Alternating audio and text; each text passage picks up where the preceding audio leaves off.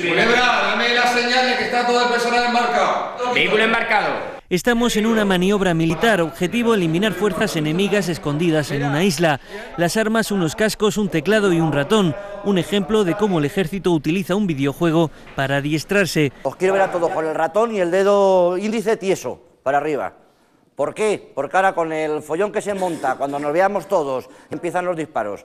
Y antes de que subáis a los vehículos, el medio pelotón ha causado baja. Estamos usando un videojuego, pero hay que pensar que no es un juego, que es una herramienta de instrucción.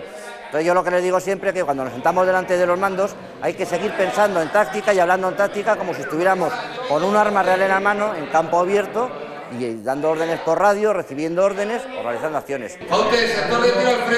Están jugando al Operation Flashpoint, quizá uno de los juegos más populares para jugar en Internet online. Una cosa tan sencilla como esta sirve al ejército español para preparar misiones en Afganistán o en el Líbano. ¿Y cómo se manejan los soldados? Yo mal, mal. Suelo jugar cuando tenemos tiempo y no hay que estudiar. La verdad que es muy práctico y, y puede, puede ayudar muchísimo a, al entrenamiento, a reconocer fallos, a ver cómo te mueves, qué harías tú, qué no harías. Y aparte, pues eso, que no, no termina uno reventado.